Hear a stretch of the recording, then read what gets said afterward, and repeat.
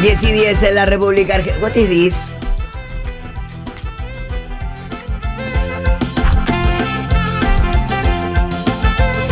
¿Bailás?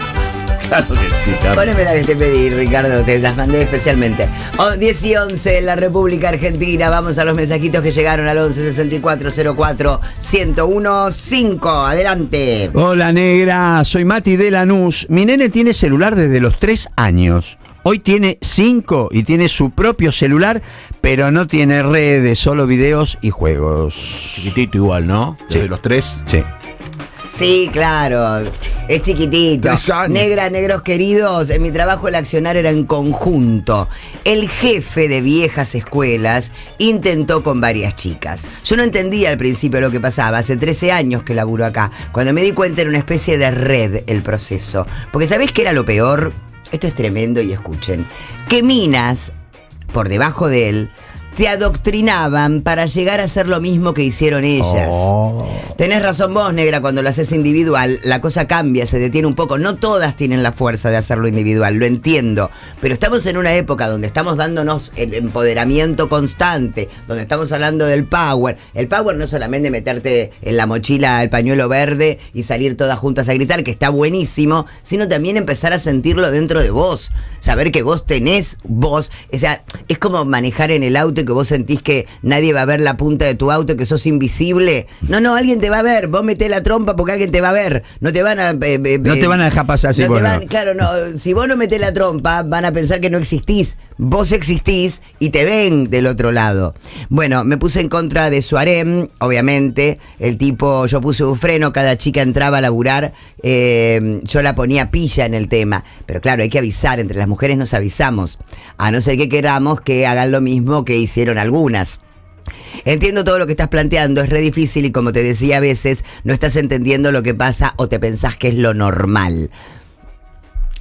Yo cuando empecé a trabajar era lo normal hacer eso. Era parte de, la vida que los tipos te invitaban a comer, te invitaban de viaje, te decían que te iban a dar un programa. También depende si lo crees. Perdónenme, ¿no? Pero también depende de si uno lo cree. ¿Qué sé yo? A mí la verdad que me invitaron 20 veces y nunca fui, pero porque no me parecía que era la forma en la que quería llegar. Es más, a veces creo que muchas minas que bancan al principio cierto destrato, ciertas formas peyorativas de, cuando los hombres se, dirige- se dirigen a ellas, pensando que con eso van a conseguir un mejor lugar o que el tipo las va a tener en cuenta. No.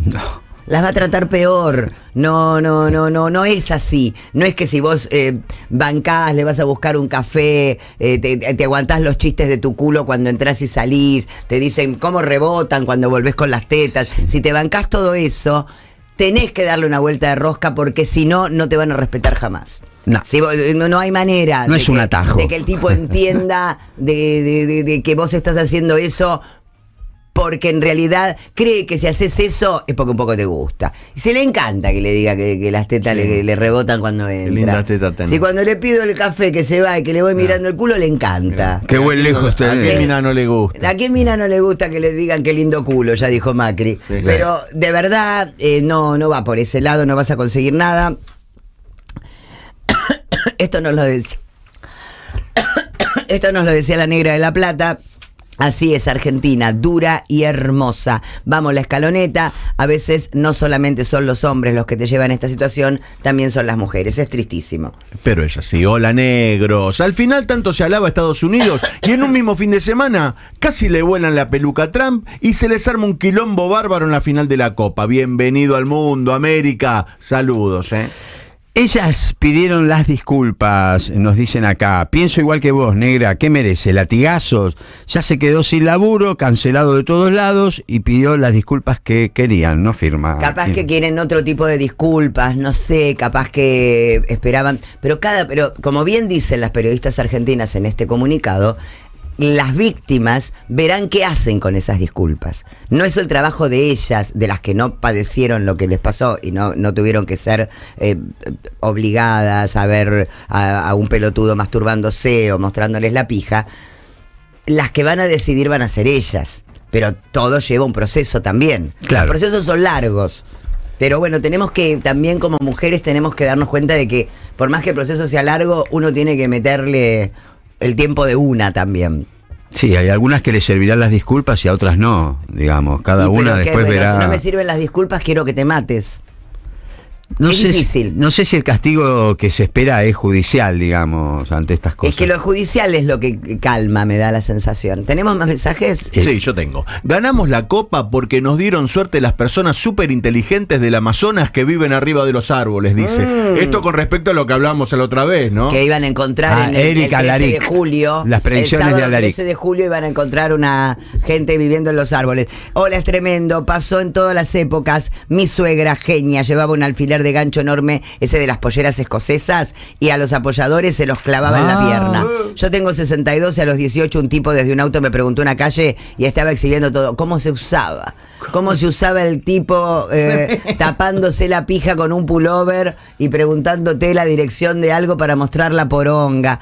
Chicos, lo mal que debe coger esa gente. Me quedé muy asustada por mucho tiempo. Sí, sí, es una situación horrible, que es lo que ellos buscan justamente.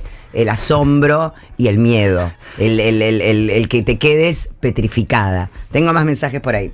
País raro Estados Unidos, negra, ¿no? Te organiza una invasión a Irak, te organiza un golpe de Estado en Latinoamérica, pero no te puede organizar una entrada de un partido de fútbol. Tiene razón. Sí, lo que se estaba diciendo también Tiene era que el nivel de escabio que había tanto en los parking como adentro de la cancha de fútbol era arriba de la media normal, que estaban todos borrachos. Vamos, campeón. Hola negra, esconderme me tengo que esconder yo, que hoy llega la selección, estoy haciendo todo lo que tengo que hacer ahora re temprano porque después quedo cautiva en mi casa. Vero, la que vive enfrente de la AFA. Bien, Vero, besos. Igual no vuelven todos, eh, No. te quiero aclarar. Muchos se quedan acá, creo que vuelven seis jugadores nada más. Bueno, hablando de vacaciones, aquí en Salta ya comenzaron las vacaciones la semana pasada y el centro era un quilombo la semana pasada.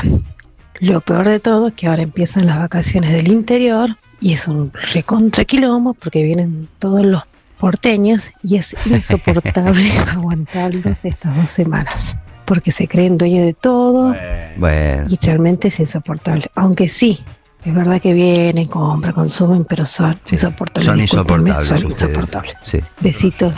Vos sos porteño. No, yo soy bonaerense. ¿Qué más tenemos? Negrita Mesa, buen día. En Estados Unidos cada vez que hay elecciones hay 300 candidatos más o menos. Un día vi uno que vivía en una casa rodante, era un gordito desocupado de jardinero con la banderita en la casa rodante. Hay muchos. Gracias.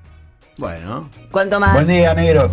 Vos sabés que respecto de los teléfonos fáciles, eh, ahora mi, mi viejita falleció hace tres meses, eh, pero cuando estaba un poquito más lúcida, pobre, eh, un amigo me bajó una aplicación a donde había seis botones en la pantalla, nada más. Era prenderlo y apretarlo. La única cagada que uno de los botones era la llamada de urgencia. La tenía agendada a mi hermana y mi hermana vivía a los altos. Se levantaba cada 15 minutos porque mi vieja apretaba los botones. Pero era fácil, ¿eh? Claro. La Uno llamada de más. Eh, último. Se para mí, volvé.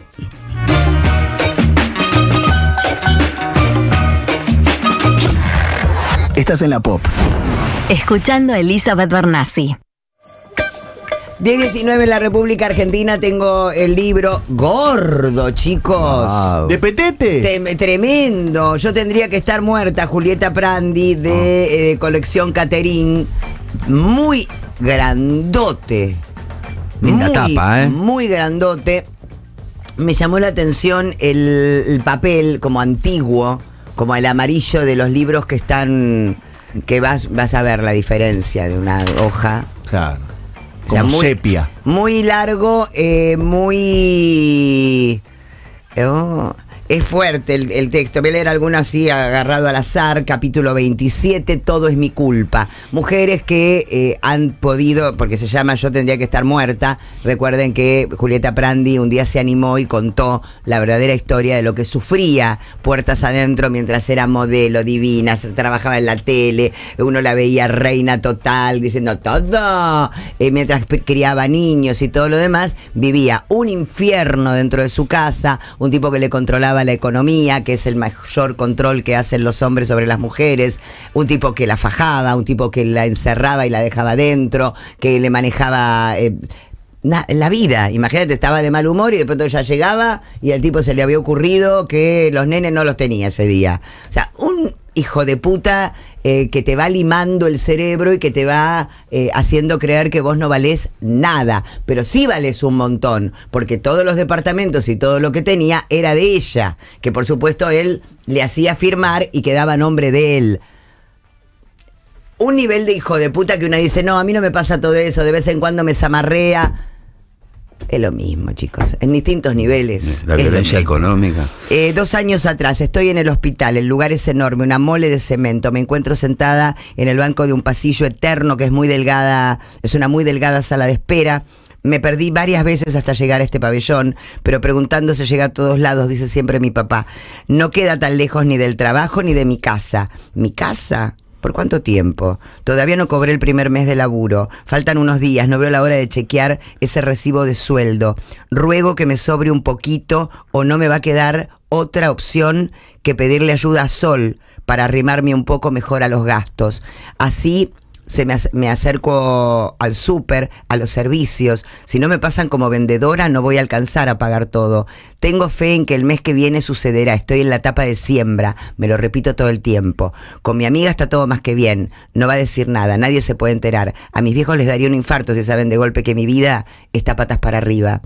Esta cosa de no, leí el libro, no sé en qué parte estoy de lo que estoy leyendo, pero estoy pensando que muchas mujeres no dicen a sus papás, a sus amigas, a sus compañeros en el trabajo, no cuentan lo mal que lo pasan porque por vergüenza, porque aparte van limándote el autoestima estos tipos, van haciéndote creer que no vales nada, que ellos solo saben el valor de lo que vos sos es como hacerle mierda a la cabeza a alguien todos los días, a la mañana, a la tarde, a la noche, y con la violencia. La violencia de encerrarte, la violencia de pegarte, la violencia de no dejarte avanzar. Y ella ayudándolo en sus negocios, además, Todo porque tiempo. él armaba negocios y. Con la plata de ella. Sí, y ella apoyándolo públicamente, digamos, ¿no? No van a, eh, dice, a mis viejos les daría un infarto si saben de golpe que mi vida está patas para arriba. Sería todo un escándalo. Me los imagino yendo a la casa de los padres de Camilo, el quilombo, los reclamos. Tengo ganas de vomitar. Me duele el estómago o más abajo, no lo sé. Tengo un mareo permanente, estoy sangrando, por eso vine enseguida al hospital. Con esto no jodería nunca. También tengo pánico, más que nada eso. Si me dan reposo, ¿qué hago? Caballero Lucía, pregunta una doctora con su clásico delantal blanco asomándose en una puerta de las tantas en el pasillo. Yo, contesto, levantando la mano como en la escuela. Quiero que me vea porque varias otras mujeres se levantaron de las sillas. Necesito que todo esté bien. ¿Cómo cambian las necesidades, Dios? Primero necesito que mi bebé esté bien. Está embarazada y se va a hacer un estudio. Eh, da ganas de seguir leyéndolo todo. ¿No? O sea, Sí. te, te da ganas de seguir leyendo. Eh, voy a ver si agarro mm, alguna otra parte. Crudo, ¿no? Todos los relatos. Siempre es crudo el relato de una mujer que ha sido prácticamente mm, encerrada en una casa y a lo- para lo único que salía era para trabajar y para llevarle la plata a, a este marido. Que encima después le hizo juicio por haber hablado, por haber dicho cosas de él. O sea, el poder siempre lo tiene el que tiene el poder económico. Además, Esto es así. el esfuerzo de ella porque no se note esto, porque estaba laburando y conduciendo un ¡La programa. tele! Es tremendo. Tremendo el esfuerzo que tenés que hacer, porque nadie se enteraba. Bueno, es muy largo, no, no me da para, tendría que leerlo, ir, ir marcando cosas. Eh, creo que es un libro que está bueno para aquellas que estén pasando algo parecido, escóndanlo, porque si tu marido te lo encuentra, eh, le va a parecer muy mal que vos leas algo eh, que, que te puede ayudar a salir. Un día le vamos a invitar a Julieta, Sí. porque aparte Juli, de ser una persona excelente, un día se dio cuenta. O sea, no es que te das cuenta, o sea, pasó años y años y años hasta que se dio cuenta. Y o sea, no ¿por qué no te das cuenta en el primer sopapo?